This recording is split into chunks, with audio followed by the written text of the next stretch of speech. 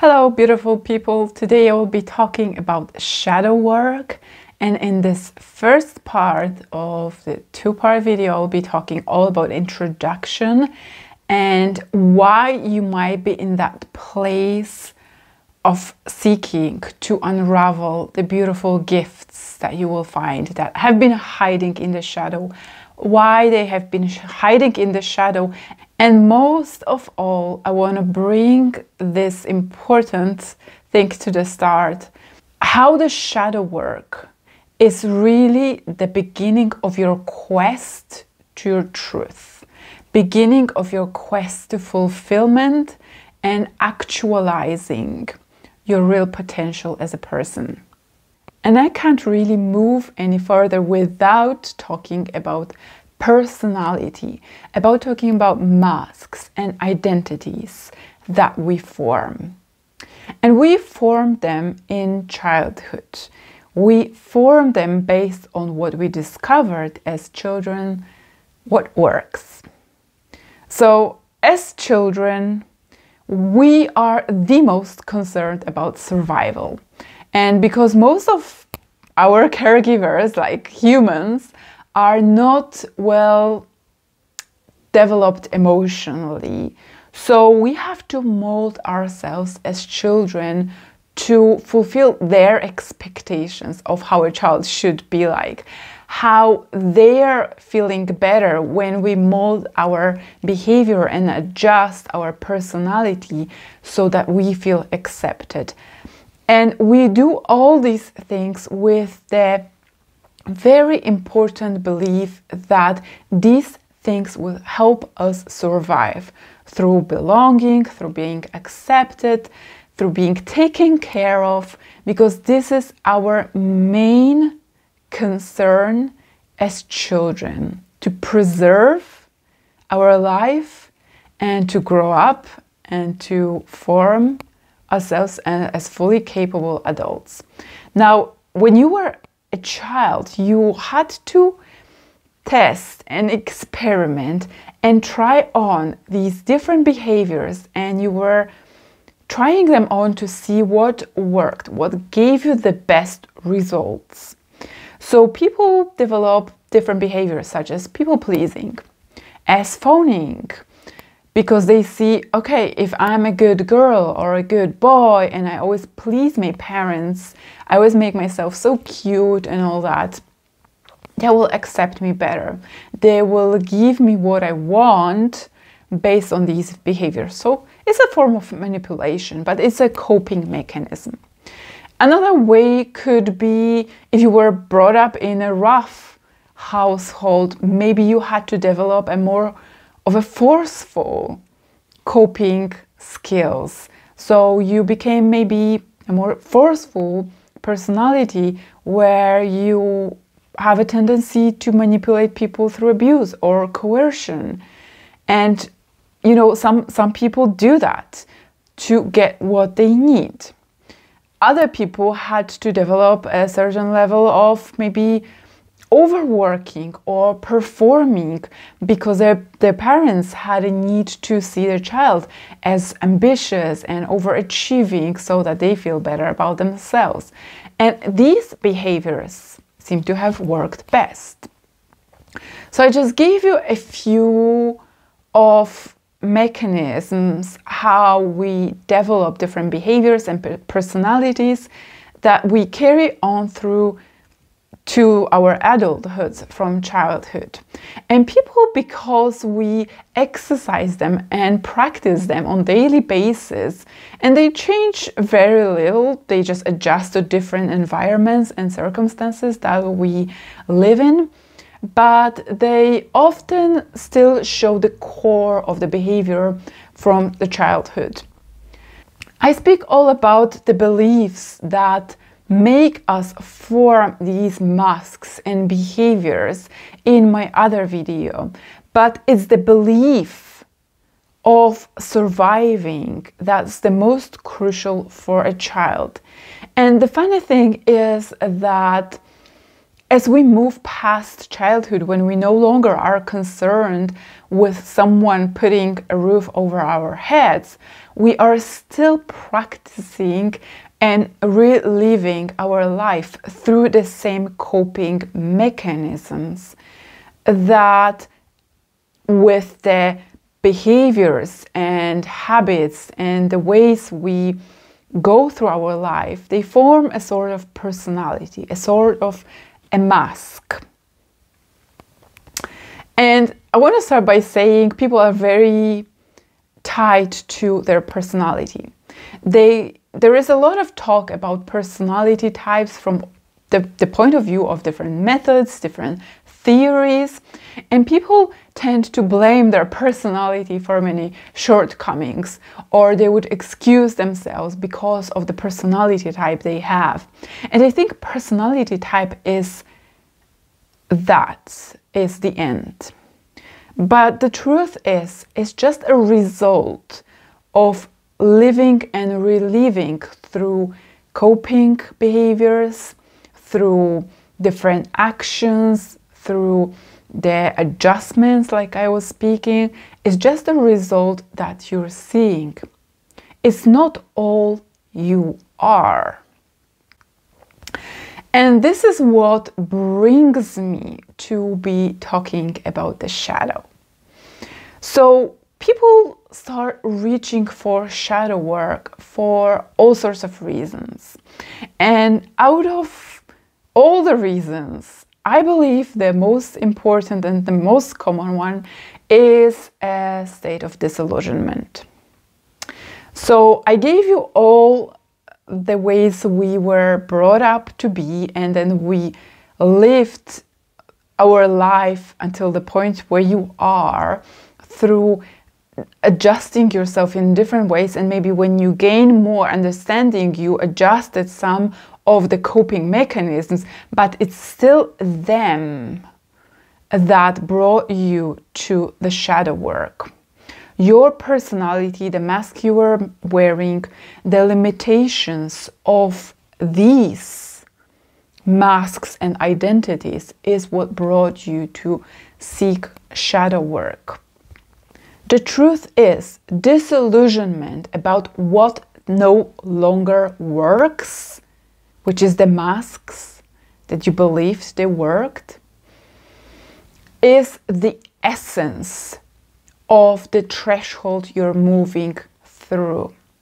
Is the meaning that it should give you to where you're going. Because as a child, you formed all these behaviors, and maybe as a young adult, you formed some of these behaviors. Maybe you had a career, maybe you became a people pleaser, maybe you became a bully, maybe you became a perfectionist, maybe you became a workaholic, maybe you became, uh, you know, a volunteer, maybe you became a compulsive shopper, whatever, you know and all these things that brought you here based on the idea that you needed to survive. They gave you a sense of reassurance that these worked to get approval, to get acceptance, to get peace. Now that you see they might no longer work. The state of disillusionment that brings people to shadow work usually happens after something that you thought would work doesn't work anymore. So it could have been a failed relationship. Maybe you noticed that that person that you believed was this kind of person, maybe they betrayed you all the things you did for them based on what you thought works. Maybe you were always pleasing them. Maybe you were always self sacrificing. Maybe you were doing all sorts of things for that person. Maybe you put them on the pedestal and it was still not enough for them. And they left you. And that could be one of the scenarios.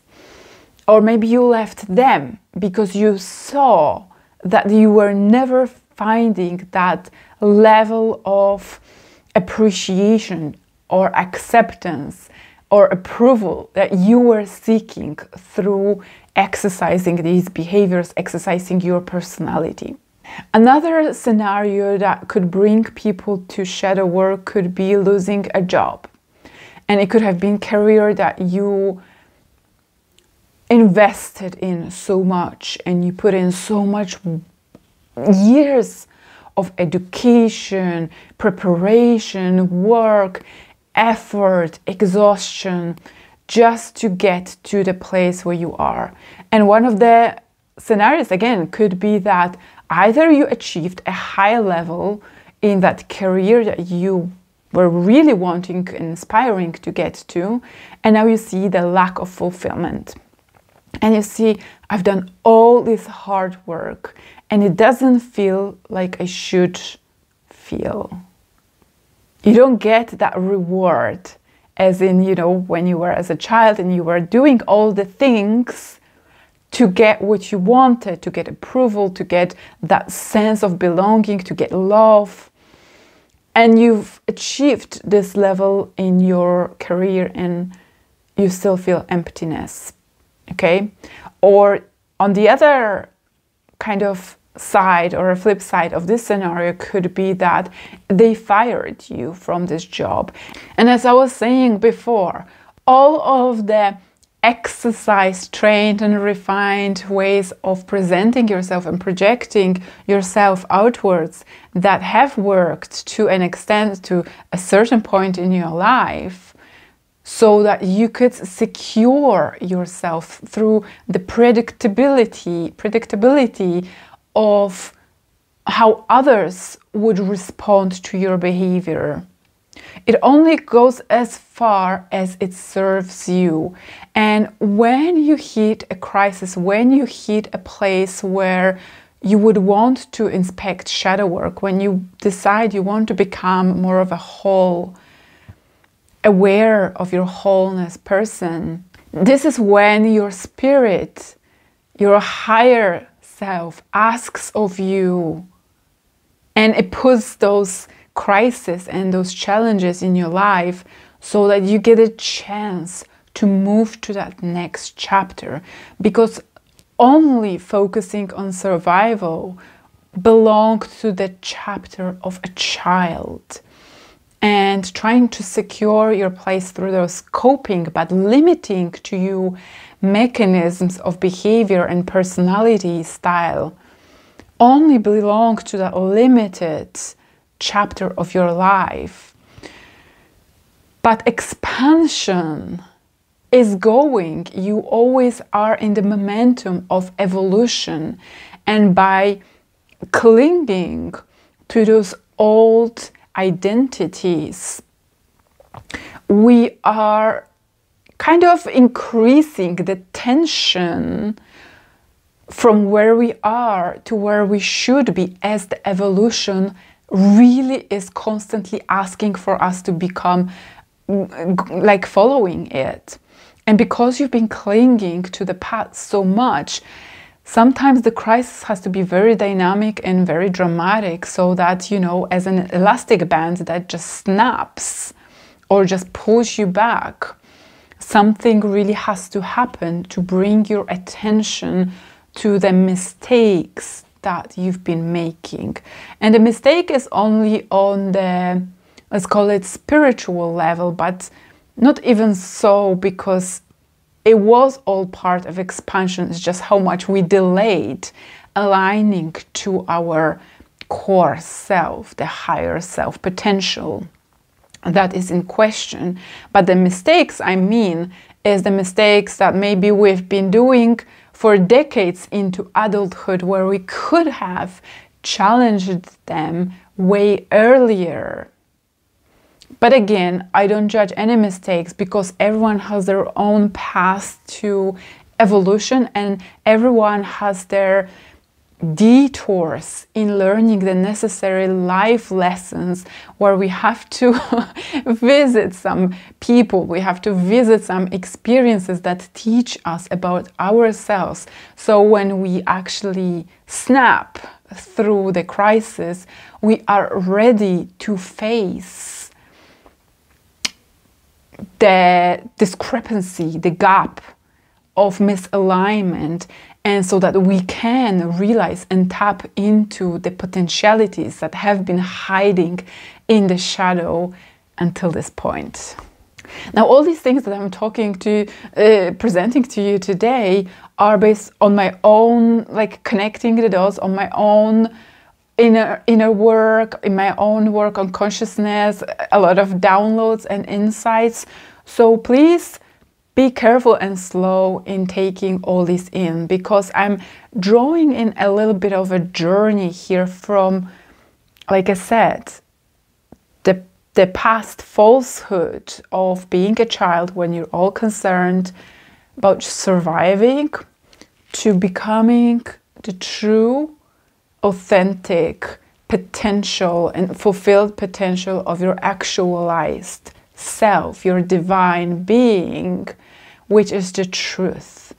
And you have to hit a certain place of the splitting when you're ready to inspect and challenge the old behaviors and take only what's needed and take it only with enough level of conscious decision making and awareness to the next part of your life. And this is the real power of the shadow work but I don't think anyone is talking about. You get to be discerning if you do it in the right way.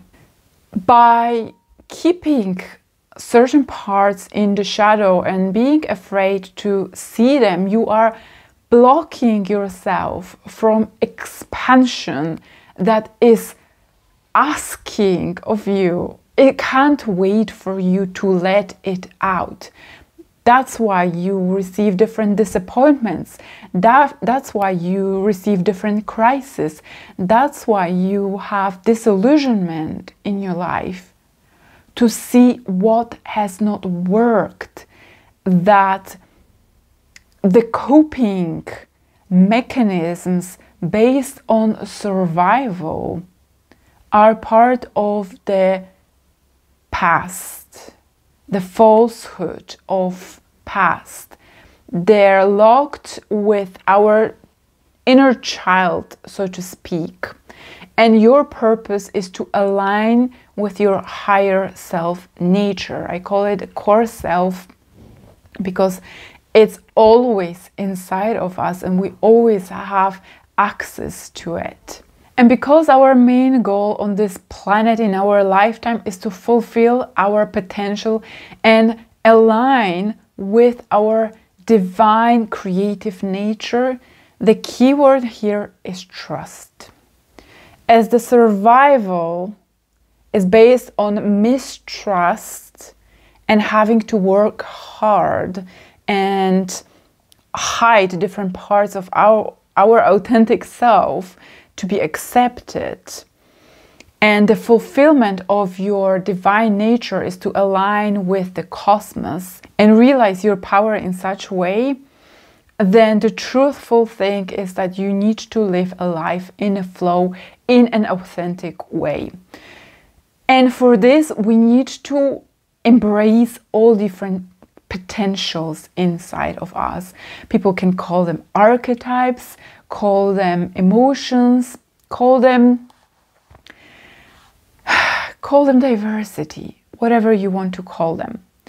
So if you had a pattern of being a workaholic, then you might have to realize a potential of relaxing that part of you that really you've been trying to push down hard that you called lazy. Maybe if you had a pattern of being overtly dependent on others, your path now is to realize the infinite potential and ability to achieve things. You can do it, and you have that potential inside of you.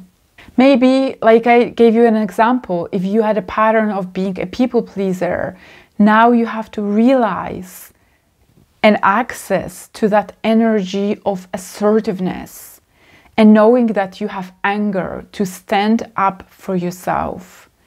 It doesn't mean that you have to go around beating around people or yelling at them.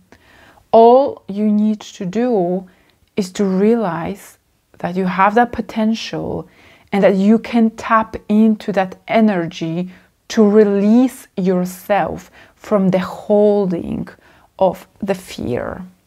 And if you had a pattern of overgiving or sacrificing or caring or fixing people, then your journey is probably take priority of yourself and realize that it's not being selfish.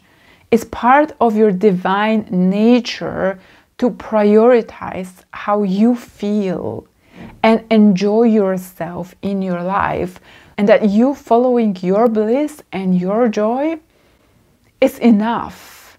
You don't have to please or fix anyone and care for anyone because your job on this planet is to align with your joy, bliss, and creative self.